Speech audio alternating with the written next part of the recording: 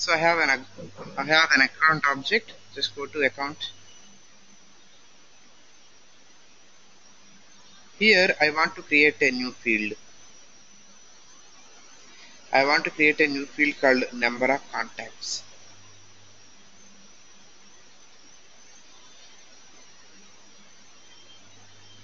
Okay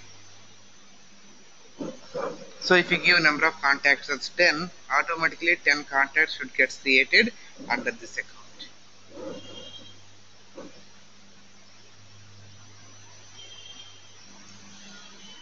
Okay?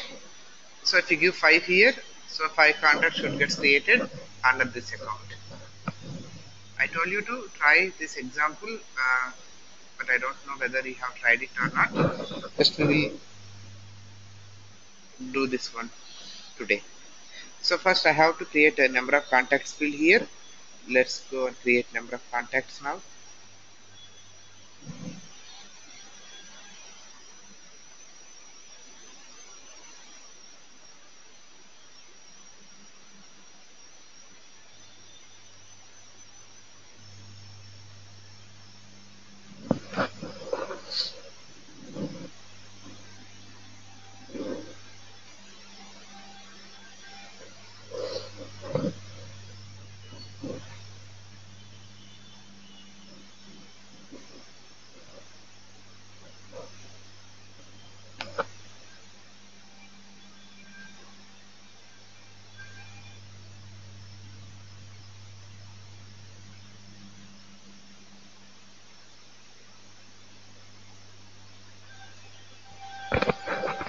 okay I have created a number of contacts field.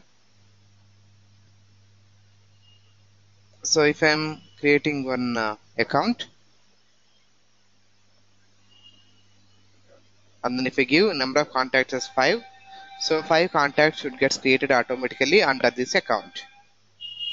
Okay so it's very simple one. Let's go to file new apex trigger so trg18 on account. So I have to go with after insert why I have to go with after insert because I need to get uh, the account ID right? I need to get uh, the account ID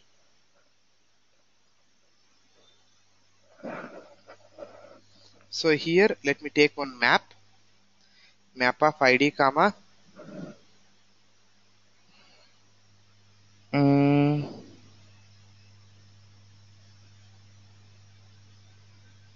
yeah map of id comma let me take uh, the number of contacts that is integer.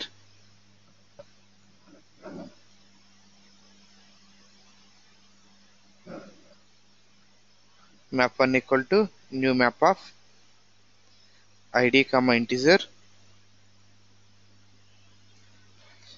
so for each account in trigger dot new map one dot put a dot id comma a dot number of contacts. Just I'm inserting just I'm adding the ID along with the number of contacts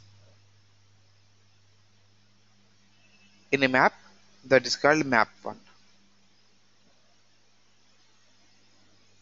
variable does not exist number of contacts? What is the API name?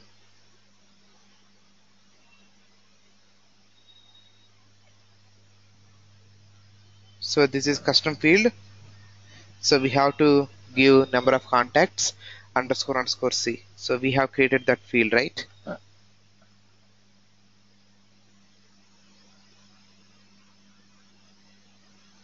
So here let it make it as decimal. Because we have decimal places zero right? So still we have to keep it as decimal here.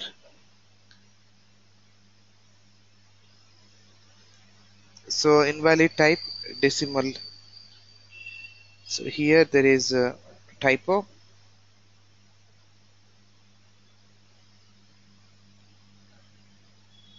Okay that's fine. So here I have taken one map and then adding uh, the account ID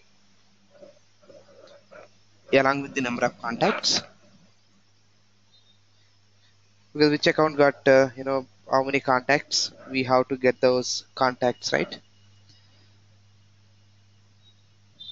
so now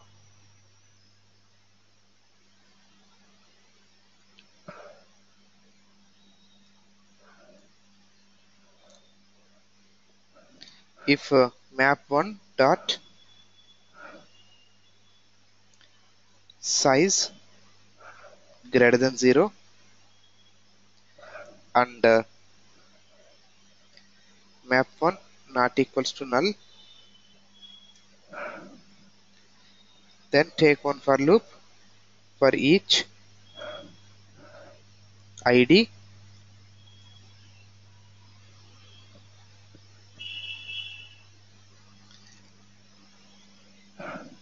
in uh, map1 dot key set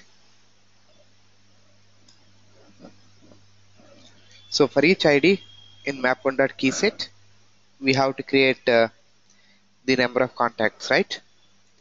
For integer i equals to 0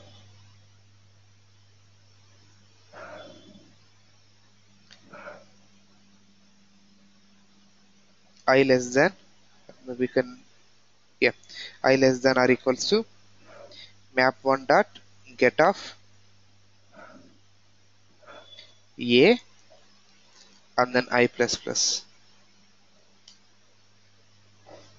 So here map1 dot get of a so what is a means so a means we'll get the id right so we are iterating here the key set and then we are getting the IDs in A. So now if you are giving map1 dot get of A, then we will get uh, corresponding value. So we have get function, get method in map. So you can use get method and you can pass any key to get method. So if you give any key to get method, you will get the corresponding value.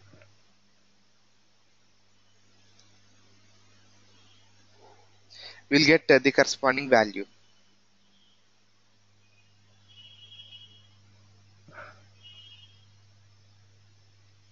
Okay, so maybe we can start with i equal to 1 because we need exactly the same number of contacts. So now let's create contact.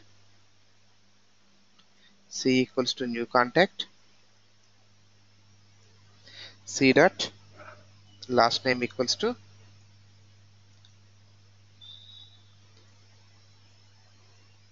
default contact plus i. C dot account id equals to a.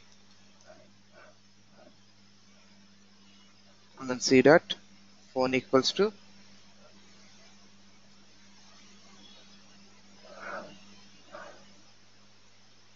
Something like this. And then let's take one contact list here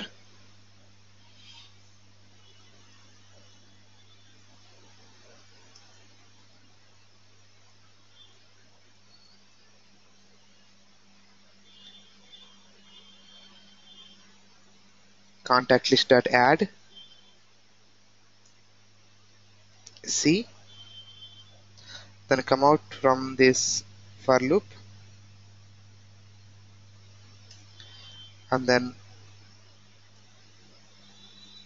insert the contact list.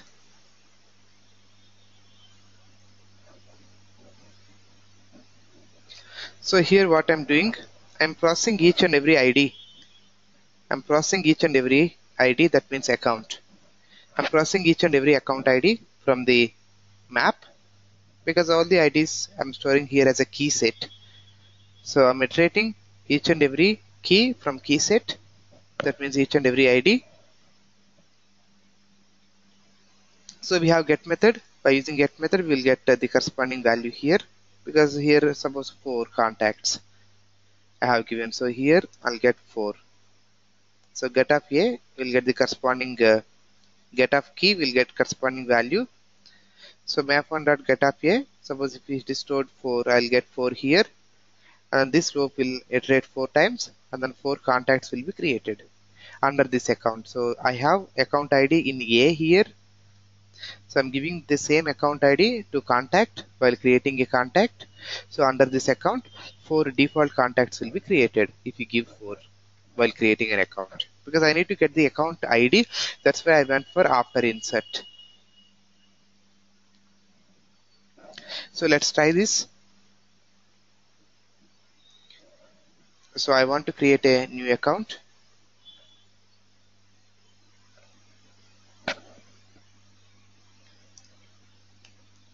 My account name is cap.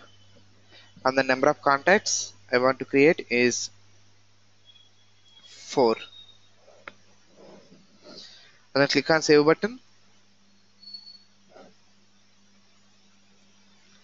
Okay I have given 4 here. Now you can see there are 4 contacts has been created. Under this account. So now let's go to contacts and see. And we can see from here na the related list so now you can see four contacts. Four contacts are created under cap account.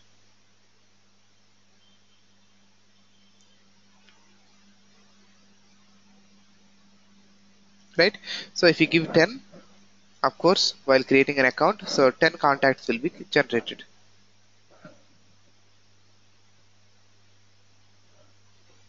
So this is for whenever you're creating a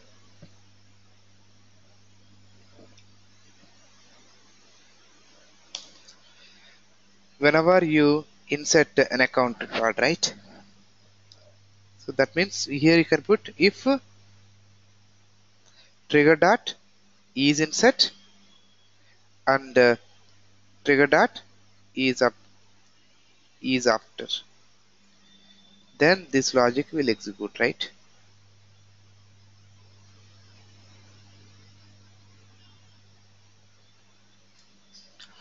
so if it is after and then if it is inserting then this logic will execute. So I want to go with the after update also. After update. Then what trigger context variable we have to give here? If trigger dot is update and trigger dot is after then you have to implement the logic for after update here so what I want to do is after you're updating the account suppose if I go to this account and then if I give here 2 then what will happen so already 4 existed, right? So 2 should be deleted and only 2 contacts should exist. Suppose initial value is 4 here. So now I want to make it uh, to 8 or maybe 7 I want to make it. That means 4, 7 minus 4. So 3 more contacts should get created. That is my requirement. So whenever you are updating, So if you're giving a less number than the actual number, the difference should be deleted. Or if you're giving uh, more, then you know that many more contacts should be created. And then now, if I want to delete the account,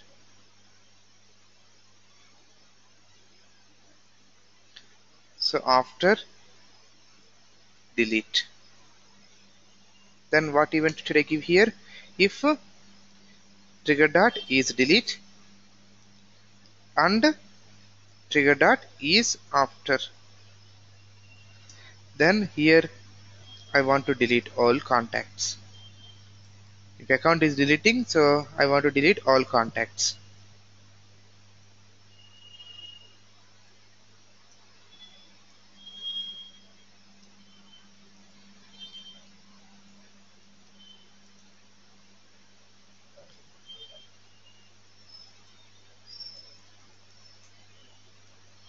okay? So if you're updating accordingly i mean what number you have given according to the, that number you have to delete or add the contacts. And then once you delete the account the corresponding contacts also should get deleted. That is my requirement. So can you implement the logic for updations and deletions?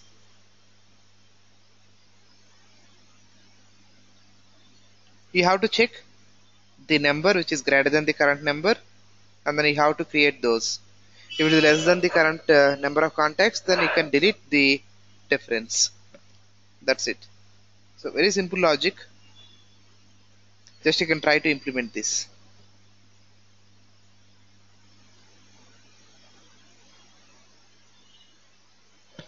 Okay so now let's go to the other one. So I want to go in the reverse way so I want to go in the reverse way. That means suppose this contacts got sorry this account got 10 contacts. Suppose this account got 10 contacts. So automatically the number of contacts should be 10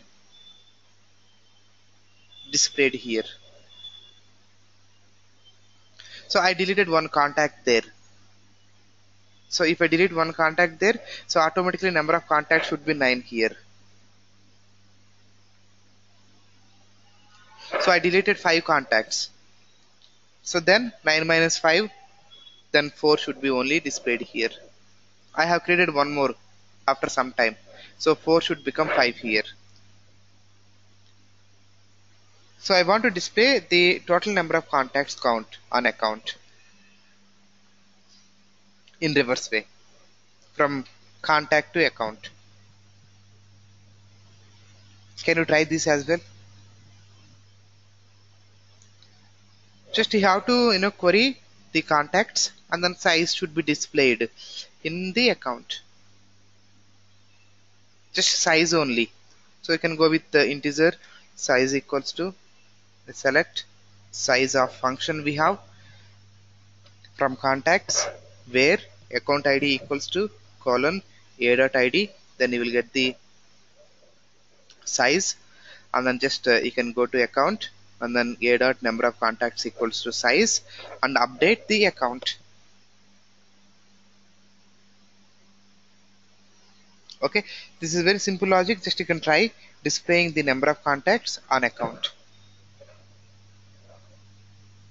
So while you're creating a new contact or while you're deleting a contact this should uh, perform. If you are deleting the size should uh, come down or if you are adding more contacts it should get increase. Okay try these two examples. And then if you look at here yeah let's go to the related list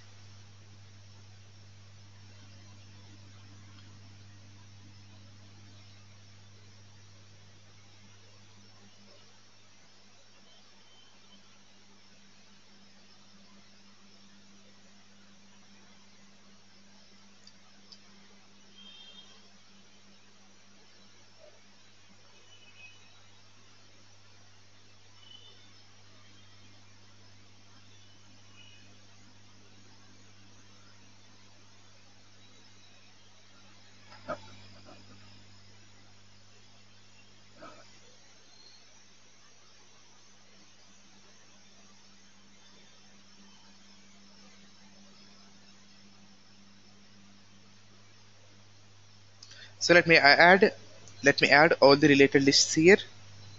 And then if you go to setup let's go to the customize. Account. And then now we can see account team. So let's go to account team here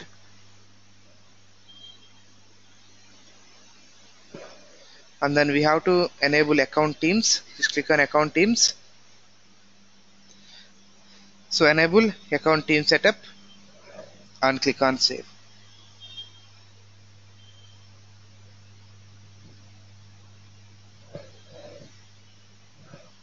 Okay. I want to add this account team related list to all the pay all the page layouts. And then go to account now just I enabled account team member. Now if you go to the account record at the bottom you can see account team. Just I enabled account team. Now we can see that as a related list here. So we can add uh, a user to an account team. So what is account team who are taking care about that account. So we will add that user as account team member. Account team member. If you have any default team created by you you can add the default team. Or you can individually add account team member to account. So they will take care about the account we got opportunity team member we got account team member who will take care about that uh, account and uh, opportunity.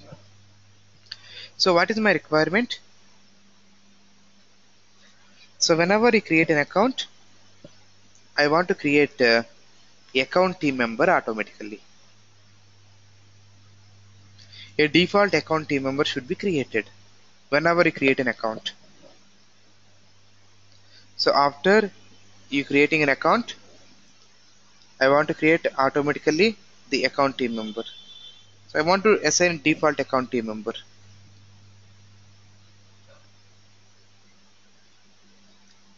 Okay? So can we do that? Yeah. So now let's go to the account triggers. Go to file a new apex trigger trigger number 19 on account.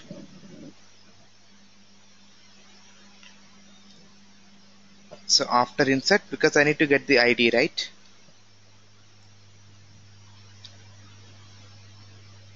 For each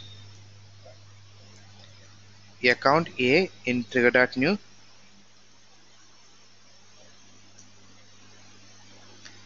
and then let me give one condition. If A dot industry equals to education. Okay if a dot industry equals to education then I want to create account team member. Account team member equals to new account team member.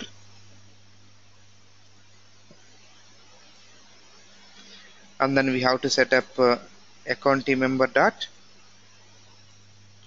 account id equals to a dot id and then account team member dot user id equals to. So now let me get the user id user u equals to select id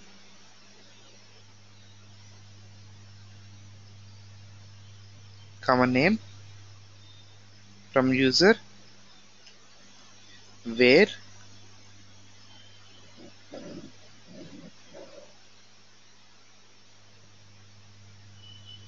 name equals to. So let's go and see what name I have given for the user here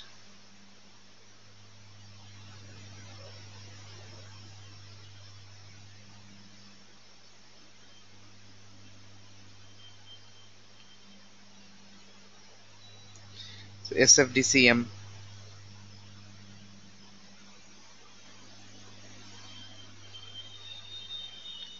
okay.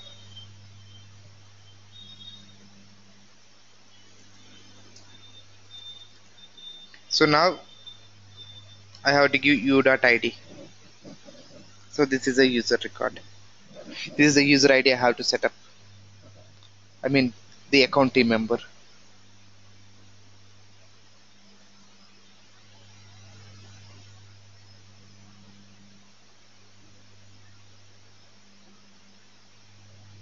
okay so I just queried uh, user record. I just queried uh, the user record. I'm just giving that as a user ID for the account team member. And then team member role also we have to set up. Because if you go to the account team member so click on add here. So once I click on add so you have to set up all these fields right? The team member that is nothing but user. So access opportunity access team role is mandatory one. So we had we have to set up all these fields. Not the access by default I'll get the read access. So now the next one is ATM dot what is that field? Team member role right? Team member role equals to account manager and then account access level ATM dot account access level equals to let's give edit and then we have to insert uh, the account team member. Okay? So now let me take one uh, list. List of uh, account team member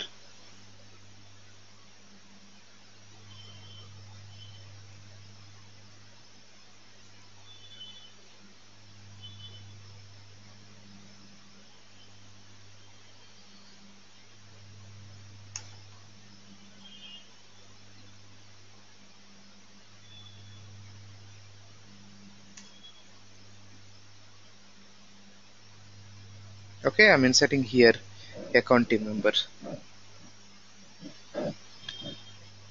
Okay so if industry equals to education then only the account team member will be created by default. Okay let's try this. Go to account.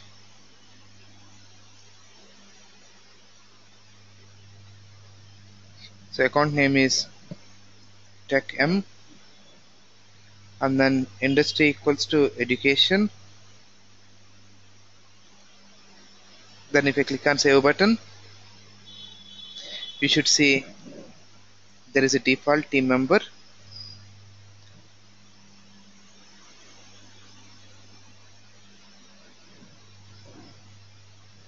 So a account team member has been created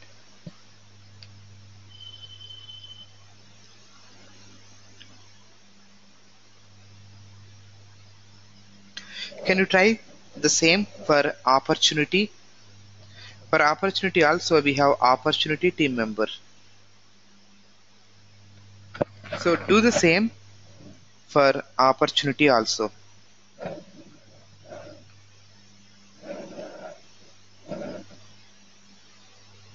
Okay?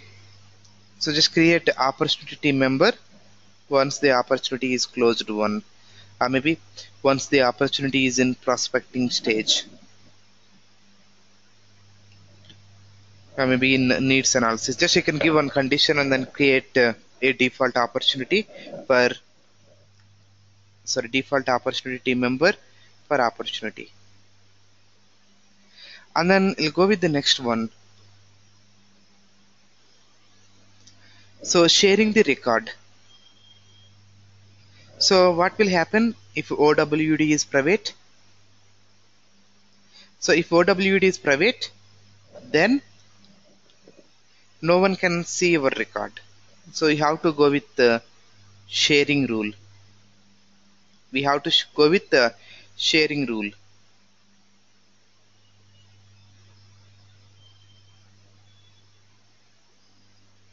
So you have to share the records particular with some users. So how many types of sharing rules we have? How many types of sharing rules we have? We have uh, three types of sharing rules. The first one is manual sharing.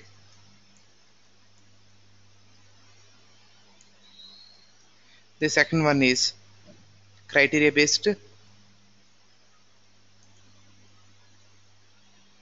and third one is Warner Best.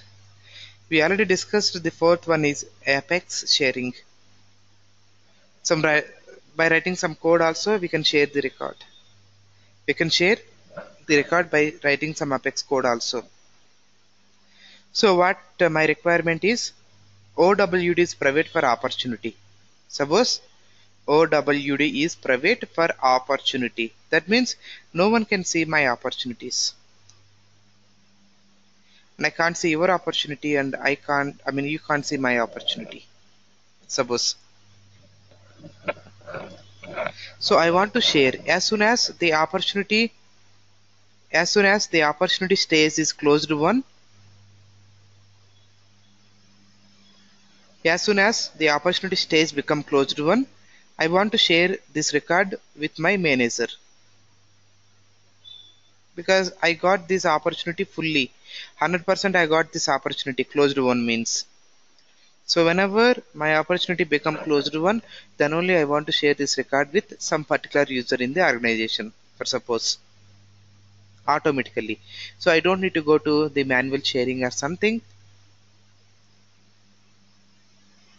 So whenever as soon as so as soon as you change the status to closed won the record should be shared to a particular person. Right? So we'll write the code for this. So first you have to go to OWD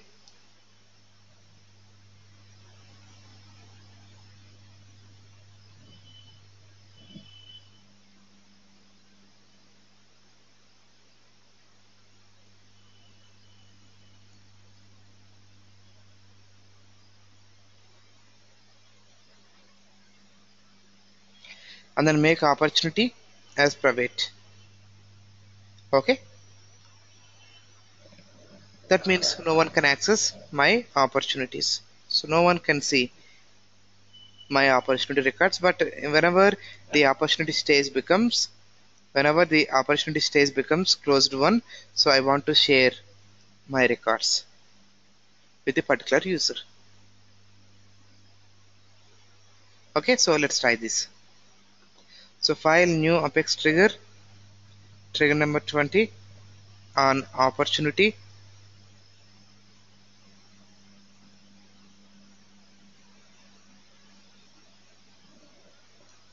So after insert uh, maybe after update.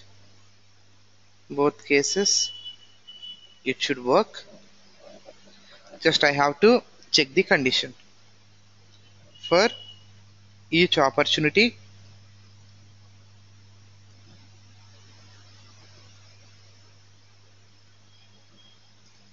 In trigger.new if uh, o dot stage name equals to I have given like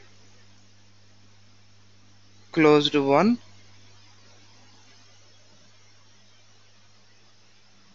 Then I have to share that record particularly with the particular user.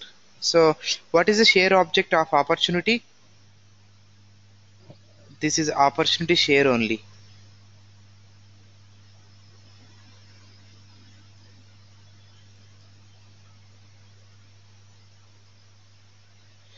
So what is the share object of student? Student underscore underscores share so what is the account share object? So it is account share only. What is the opportunity share object? Opportunity share only.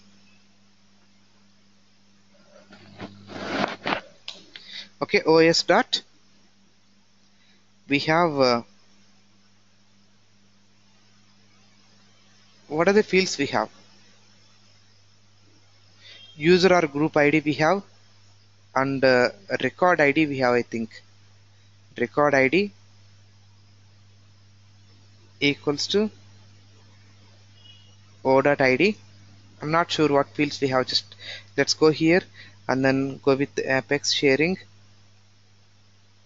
in salesforce. Let's see what other methods are available.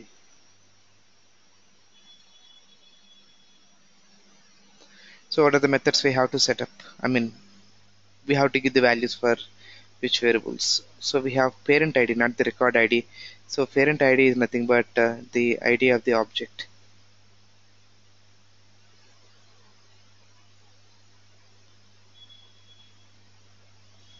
So we have to give the parent id here.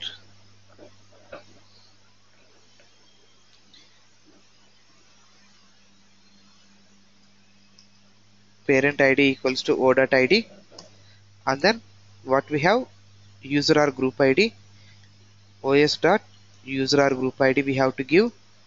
And then we have to give os dot opportunity access level.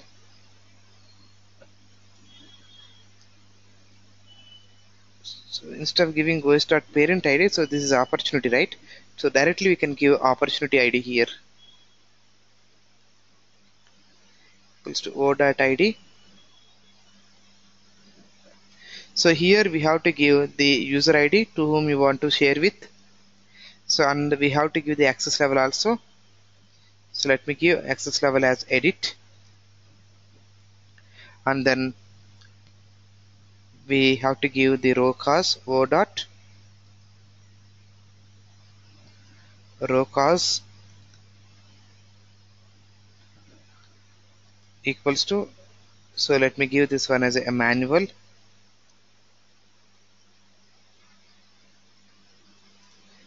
And then we have to insert that share object. We have to insert that share object. Okay so here we have to get the user record. So I want to share this with second user. So let's go and uh, query the second user so second user name is this is the one.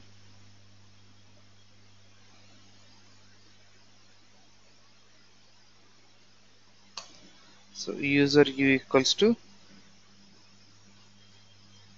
select id from user select id common name from user where name equals to this is the name and then let me give the same user id here I want to share with this user. Okay. And then the level edit.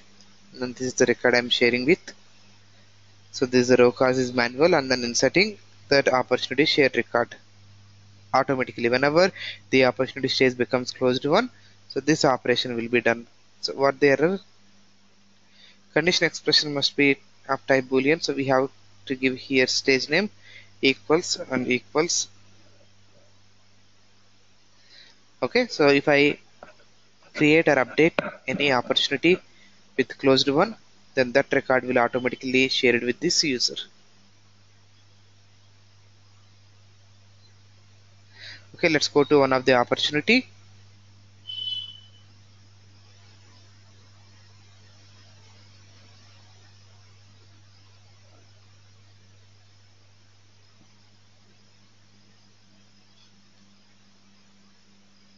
to this test opportunity. And then I want to make a stage as closed won. Save it. Then if you go and look at uh, the second user this record will be shared with the second user. Right? This record will be shared with the second user automatically. You don't need to do any manual sharing by clicking on this sharing button or something. If you click on sharing button here then you have to share it manually but we have done the same programmatically. Now we can see second user this is the access we have given. This is the reason. So this record is shared with the second user. Automatically through trigger so you can have different conditions. So if it is closed lost so it should be shared with other user right? If it is in negotiation review then it should be go with the other user. Something like this. You can have number of rules. You can have number of rules here. So anyway we have written insert statement inside the for loop right just you can remove it. Just you can create one opportunity share opportunity share list and then add to that opportunity share list and then perform the DML operation. At the end of the loop outside of the loop. Okay? So now let's see. A simple trigger and then creating a test class for that trigger.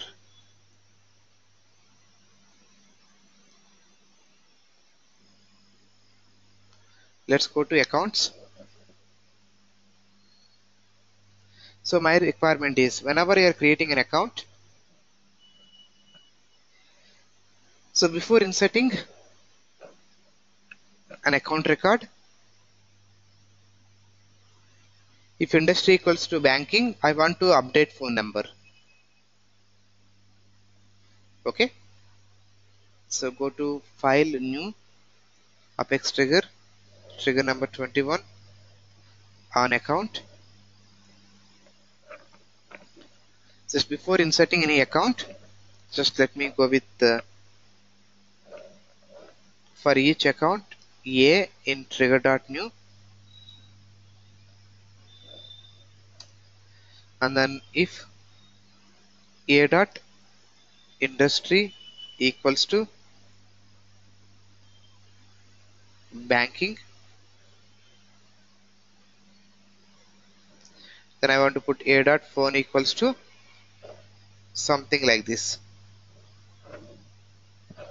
This simple before. Trigger just updating a field value. So if industry equals to banking I want to put phone number equals to I want to put phone number equals to 9999 okay? So I told you so whenever you are writing any code if you want to push this in production we need to have test class we need to have test class we have created a lot of test classes in the beginning of our development classes.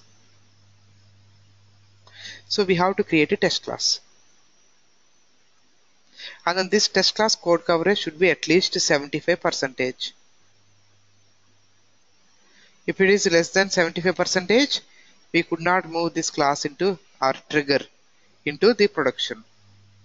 Whatever code you are writing, that is either trigger or apex class. You have to write a test class and they have to achieve at least 75 percentage of the code coverage. So we have written a lot of triggers. So this is trigger number 21 so we haven't uh, developed any test class. So now I want to create a, a test class for this trigger. Okay? So go to file new apex class. So this is uh, trg12 test class. Sorry trg21 underscore test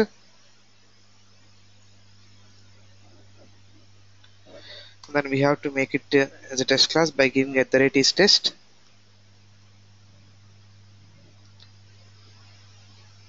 Public void public static. Void test method. Public static test method. Void main. Okay you know about this we have been writing the test classes in the same way so how this trigger will be called so when this trigger will be called, when this trigger will gets execute. So whenever you are inserting an account record, this trigger will be executed, right? This trigger will be called automatically whenever you are performing the DML operation, right? So here I have written the trigger for before insert. that means whenever you are inserting an account record so this part of the code will get executed. So exactly we have to do the same in the test class. So we have to insert an account record in the test class. Then this trigger will be called. So now let's insert one account in the test class you know how to create account instance. Account a equals to new account. So did we give any condition in the trigger? A dot. Industry equals to banking. Okay. And then we can insert the record. And the name is also mandatory right? If you don't give name what will happen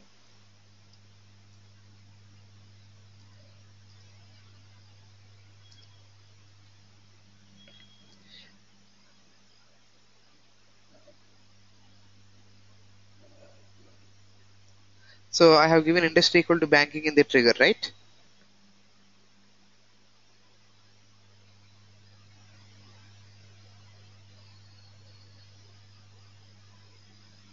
So this this condition should satisfy. Then only it will go and give phone number equals to 999. That's why I have created test data with the industry equals to banking. And then we have to perform insert operation.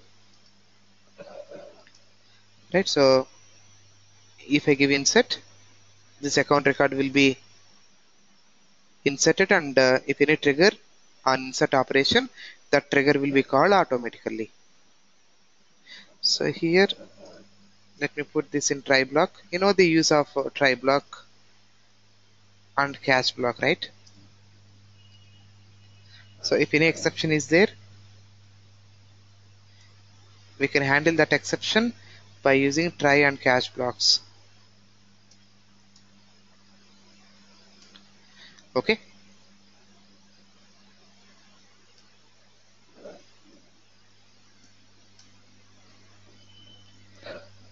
So I'm inserting the account in try block. So if any exception is there catch block will handle that exception. Okay? So now if I run this test class we can see the code coverage. How much code coverage it is giving. So let's click on run test?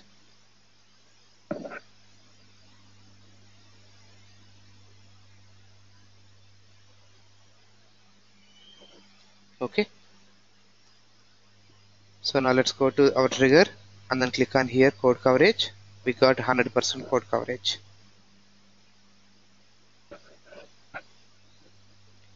right so everything is covered here what I have written so we got 100% code coverage. If I don't give industry equal to banking what will happen? So I'm not giving industry equal to banking I'm giving industry equals to consulting. So I'm inserting an account with consulting in the test class. And then now let's click on run test. So if I give industry equal to consulting it will go into this if condition or not I think it won't go into this if condition. So now let's go and uh, check the code coverage. I got only 66% of the code coverage. And it is not going into this if condition because I have given industry equal to consulting. It is not anyway satisfying this banking. So it won't go into if condition. It won't give the phone number as 999 so you have to prepare test data accordingly as per our logic here in our test class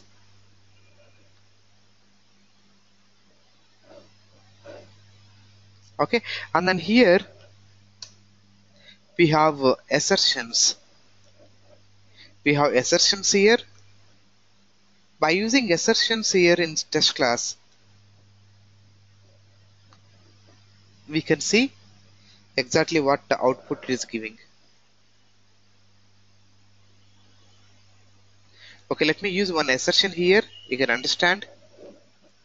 So now let me get the account. Account a equals to select id comma name comma phone comma industry from account where id equals to column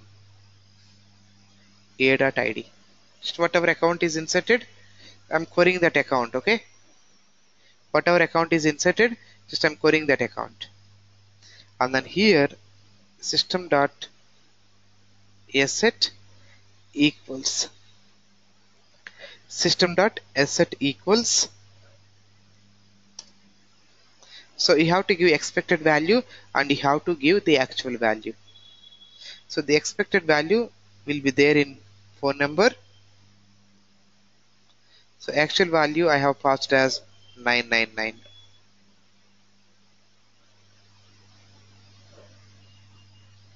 so both should be same right? So here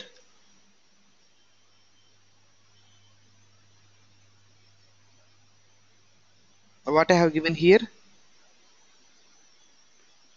only I passed banking. If I pass industry equals to banking automatically the phone number should become 999 that means this account phone number is 999 so now I'm comparing the account phone number with 999 it should be 999 only. If both values are same the assertion will be passed. If both values are not same so if there is any problem and then it is not giving phone number as 999 then assertion will be failed. One second. So let me execute this. So duplicate variable a. So let me give acc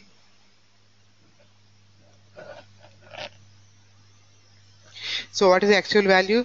Now in this account 999 so whatever expected value is 999 so actual value is also 999 so i'm expecting a dot phone number should be 999 here because if my trigger is working fine. So if ACC phone number should be if my trigger is working fine ACC phone number should be 999 only. Okay so now let's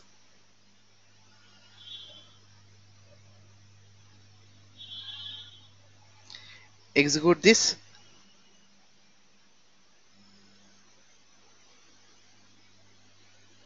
So working fine. And then go to our test class. And then we got 100% test coverage. And this is success. So my assertion is passed. I won't get any exception here. Suppose if I'm expecting so actually the actual value will be stored here the expected value will be there in the phone and then what I'm expecting as 999 right? Suppose let me give here 888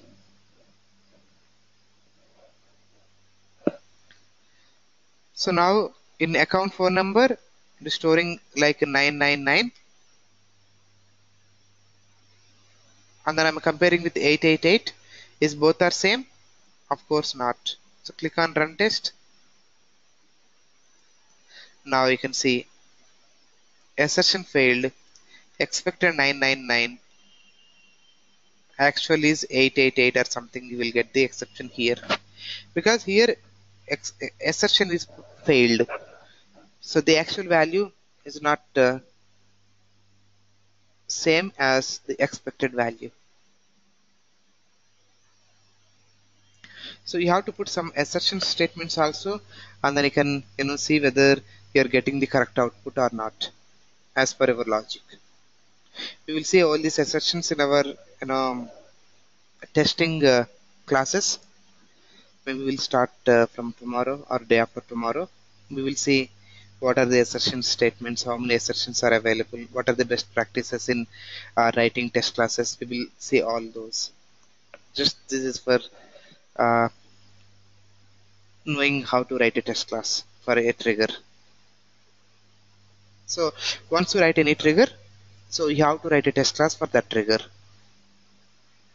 And then you have to insert the same data the relevant data. Suppose this trigger is an account so that's why I have inserted an account record. So suppose if I create any trigger on student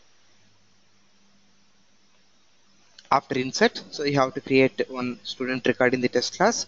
And then you have to give the data you have to give relevant data to satisfy all the conditions what you have written inside a trigger.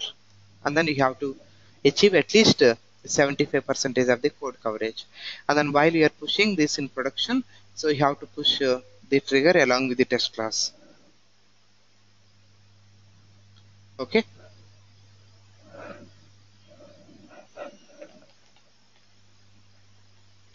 now we can see the best practices while writing Apex code.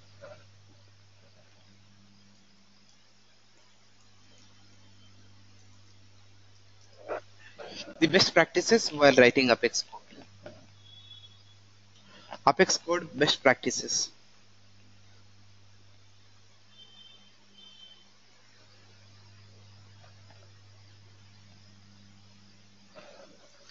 So what is the first best practice?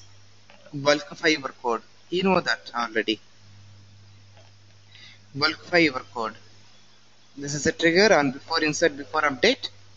They are taking trigger dot new of zero. That means they are taking only one record, the first record. So if I'm inserting here 20 records, they are processing here. They are taking uh, trigger dot new of zero. That means they are working with only one record. So this is not bulkified one, right? So you should not take like one or two records from the list. Just you have to use for loop, right? For each loop, for each uh, account A in trigger.new and then you have to process each and every record. So you have to use collection.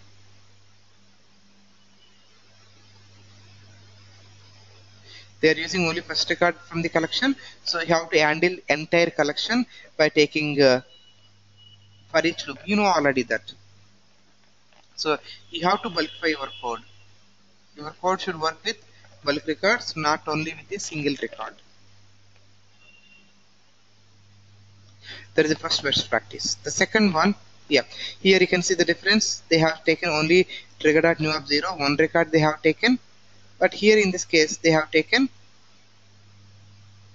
the for each loop to process each and every record from collection.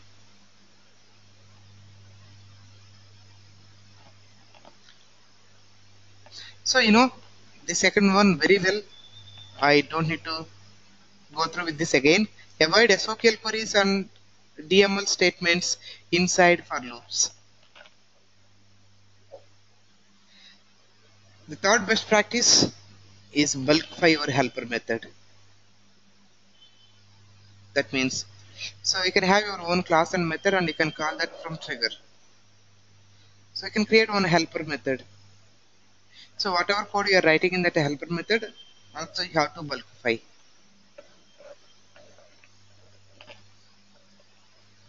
The fourth one, using collections, streamlining queries, and efficient for loops.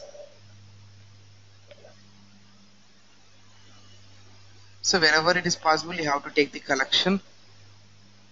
Better you can go with the map to process the values quickly in an efficient way. And then streamlining queries. So wherever it is possible, you can give the condition. Then you will get only those uh, records, right? Not all the records. And then you have to write efficient for loops for processing the data. okay the fifth one is streamlining multiple triggers on the same object. I told you already this. Instead of writing multiple triggers on the same object so trigger 1 on account after insert. Trigger 2 on account after update. Trigger 3 on account after delete. So instead of writing like that you can have only one trigger on the same object and then you can give different events. Something like this go to file new apex trigger trigger number 22 on account. So before insert comma before update comma before delete comma after insert comma after update comma after delete comma after undelete okay? So now we can write code here whatever we want for the particular event. So how we can differentiate from one event to other event? So if trigger dot is before and trigger dot is insert then you can perform this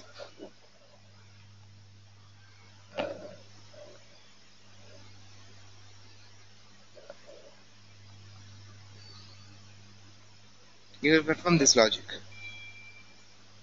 So if uh,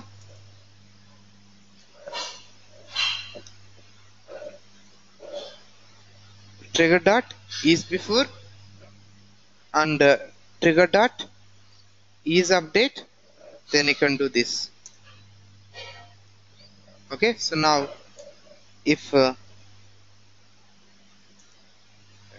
trigger dot is before and uh, trigger dot is delete. Then you can do this. Like this you can have I mean you can use trigger context variables. Okay? You can use trigger context variables and you can differentiate the logic. What exactly should happen in that event? Can, one trigger is enough.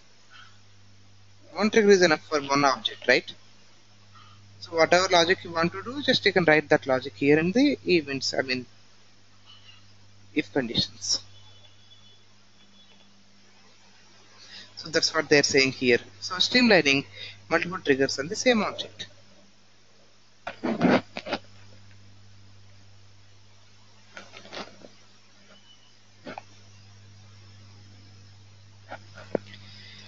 And then querying uh, large data sets the sixth one so the total number of records will be written by SOQL query is how much? Only 50,000 records. So if you're querying uh, huge data so we'll get simply the heap size error. Maybe it will it might exceed the heap limit.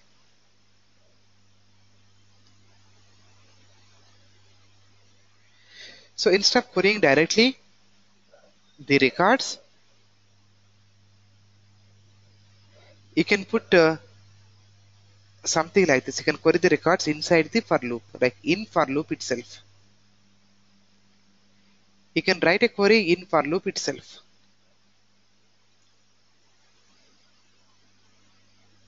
So if you write query something like this it will take 200 200 records as batches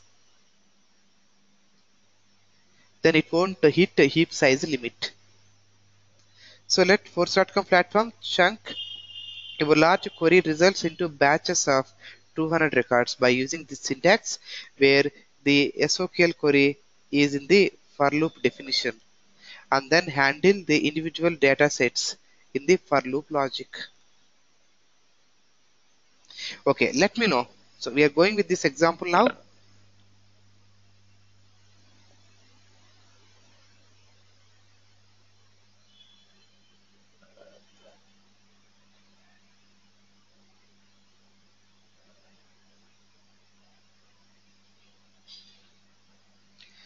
So I'm taking one set here, set of ID. So account ID set equals to new set of ID.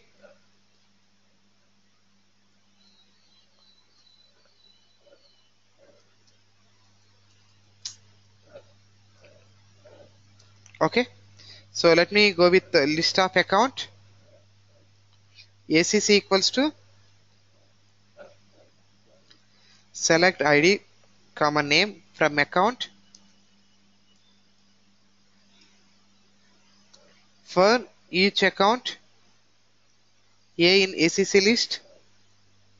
I'm adding it to ACC ID dot add. A dot ID just I'm adding all the account IDs to a set. So here I'm querying all the account records and then just adding account IDs to this set that's good. So now I'm doing this in the other way. For each account A in select ID comma name from account. ACCID dot add A dot ID okay so just I have written this instead of the highlighted one So both works in the same way. I mean, the result you can see is the same. So what is the difference between them? So here I have defined, I have written a separate SQL query and then processing each and every account from for loop and then adding into ACCID. But here I have written query in for loop definition itself. We can write in this way also. So I'm processing the accounts here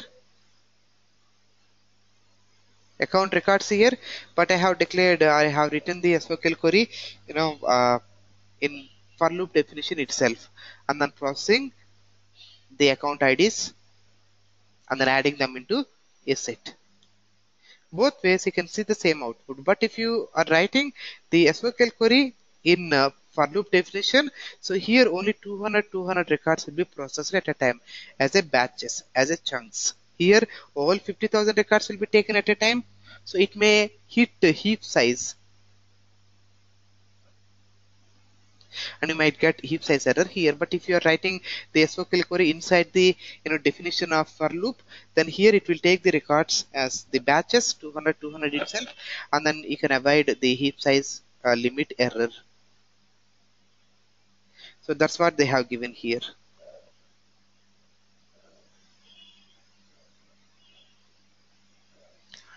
So let the force.com platform chunk your large query results into batches of 200 records by using the syntax where the SOQL query is in the for loop definition and then hand in the individual data sets for the for loop logic.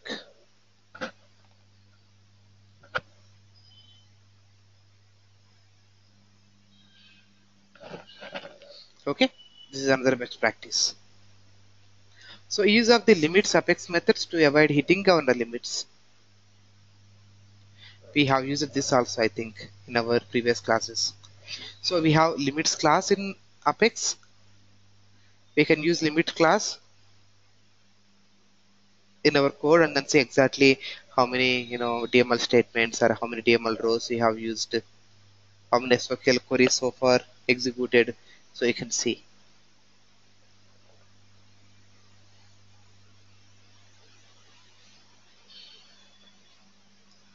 So use uh, at the rate feature appropriately. We haven't done at the rate feature so far. So at the rate feature will uh, will be for asynchronous execution. If you want to execute your code asynchronously so we are using asynchronous I mean, we are using at the rate feature for asynchronous. Okay, so we haven't done uh, at the rate feature yet. We will see this later. But we have to use at the rate feature asynchronously wherever it is possible, wherever we need, wherever you want to execute the code asynchronously, we have to use at the rate feature. We will see this in our coming classes, don't worry. So writing test methods to verify large data sets, you know this.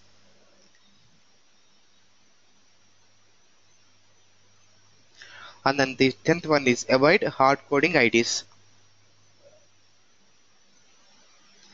This is also we have seen in our previous classes. Instead of giving the record ID, hard coding ID, so we have to query or we have to create the record and then we have to refer that ID, not hard code the record height is something like this. So we have to query the record. Don't hard code okay? These are the 10 best practices. You have to follow while you are writing apex code.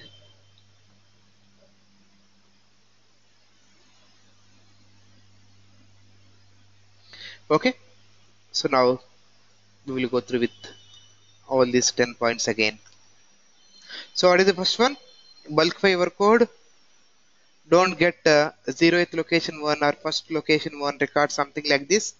You have to use for each loop or for loop to process the records each and every record from the collection. Bulkify your code and you know you have to avoid the SOQL or DML statements from inside the for loop. The next one the second one you know that? And the third one is bulkify your helper methods. If you write any helper methods you are calling from trigger or any other class you have to bulkify those helper methods also. So wherever possible you have to use the collections and you have to streamline our queries and you have to write uh, efficient for loops. That is the third one. And the fourth one is sorry that is the fourth one so the fifth one is you have to streamline multiple uh, triggers on the same object. You have to combine all the triggers and make sure you can have only one trigger with the different events per object. And the sixth one is querying large data sets. If the data is very huge really and then if you are hitting heap size error or heap size limit so if you want to avoid that, you have to write the SQL query inside, not inside, in the for loop definition itself. Then it will take 200, 200, 200 records as a batches, and then you can avoid the heap size limit error if you have really huge data. So use of limit limits methods, we have limits class methods. You can use them inside our code and exactly know you know where you can get uh, or where you are hitting more DML statements or where you're you know crossing the SQL queries inside your code. So on the eighth one is so we have to use at the rate feature appropriately but we haven't done this yet. The ninth one is so we have to write test methods to verify large data sets. And the tenth one is so we have to avoid hard coding IDs. I hope you remember all these 10 points. Not very difficult to remember, just only 10 best practices we have. Okay, yeah, that's fine. So now let's go to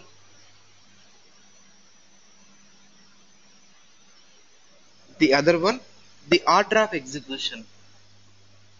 So order of execution.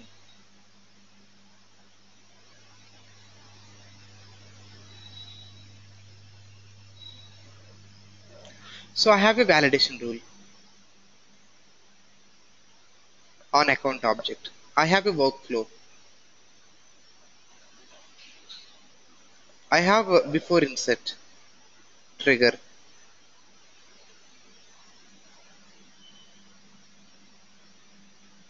I have after insert trigger on account. Suppose I have defined everything. I have defined all these for an account object only. So which will get execute first? Whether workflow will execute first, trigger or validation rule. Right? This is validation rule. So what is the order of execution?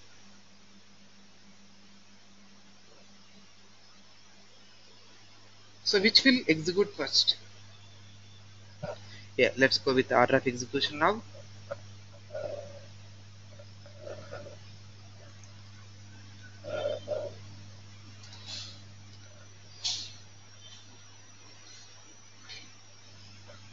So let's go to order of execution. This is also very important. The commonly asking question in interviews. What are the best practices you have to follow while writing Apex code? And what is the order of execution?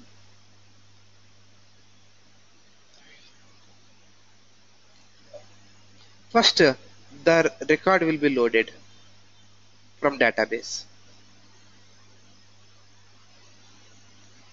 For upsert operation, that means update the record or inserting the records,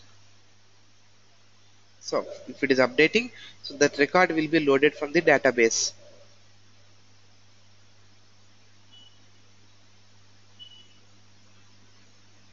So load the new record field values from the record from the request and override the old values so if you're updating the old values will be overriding with the new values.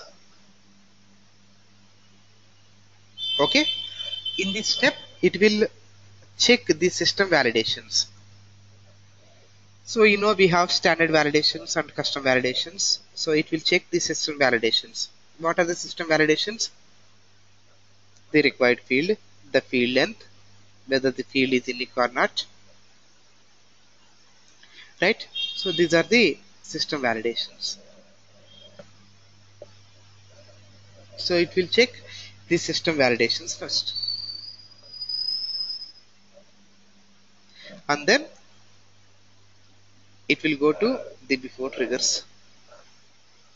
What is the first step? What is the first, first step? System validations second one is before triggers.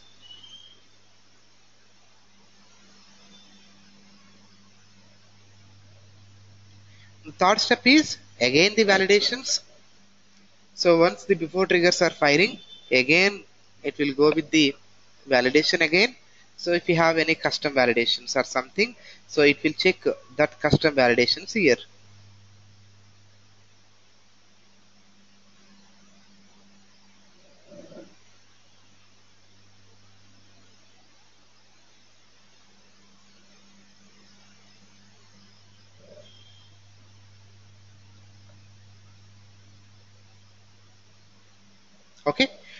you have any duplicate rules that will be executed. And then the record will be saved into the database but it won't commit anyway. Any I mean it won't commit. The record will be saved into the database but it won't commit. And then it will execute after triggers. And then it will execute if you have any assignment rules. Okay let's go with this text. So after triggers will be executed. And then if you have any assignment rules we have created assignment rules on lead and cases right? Lead management and case management. So if you have any assignment rules that assignment rules will execute. And then auto response rules.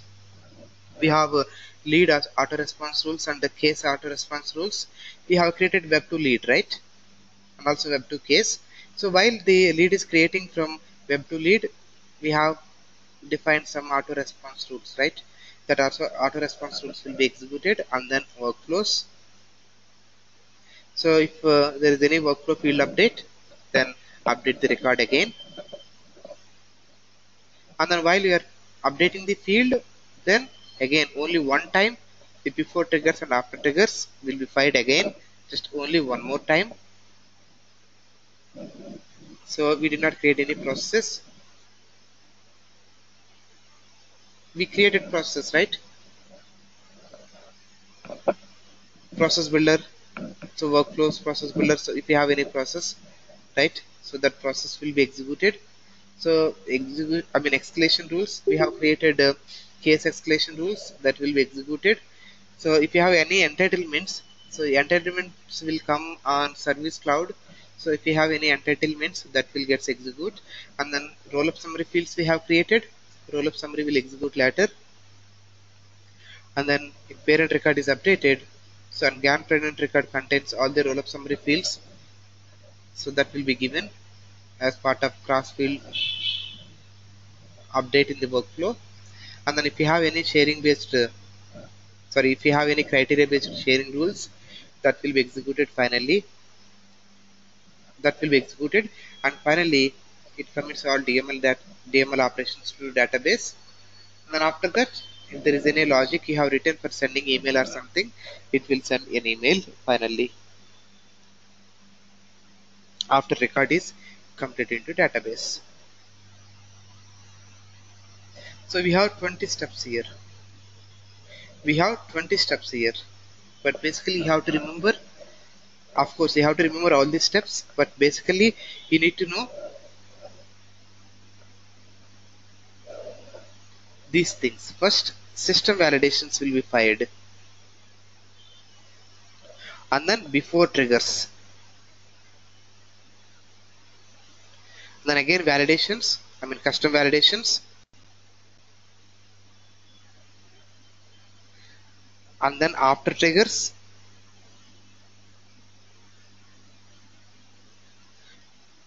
And then workflow and process builders if you have any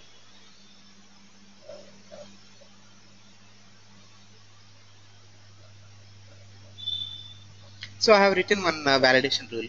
I have written one validation rule. So before triggers will execute first our validation rules. First before triggers will execute and then my validations will be executed. And then after triggers and then workflow. Anyway system validations will be checked at the first. That's fine. Okay? So before triggers will be executed first and then validation rules and then after triggers and workflow. Before trigger validations after trigger workflow.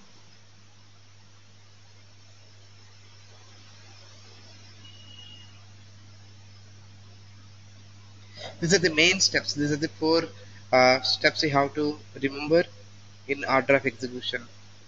Before triggers validations after triggers workflow so first the record should save into the database right?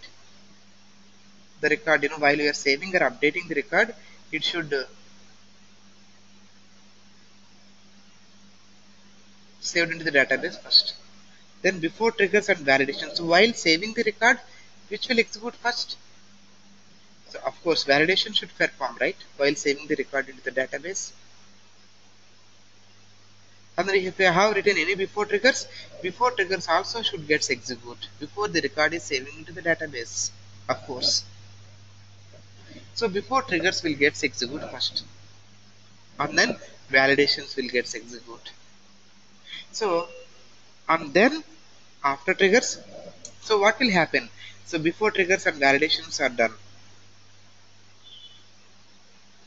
the record will be saved in the database but it won't commit anyway. The record will be saved in the database but it won't commit.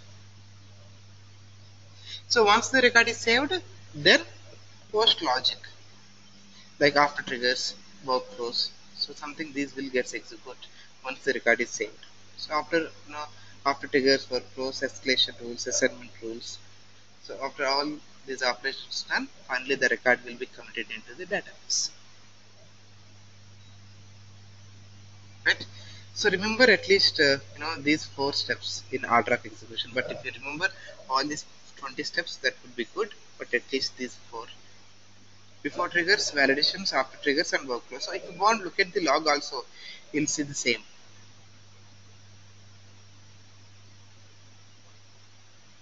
So can open any log here.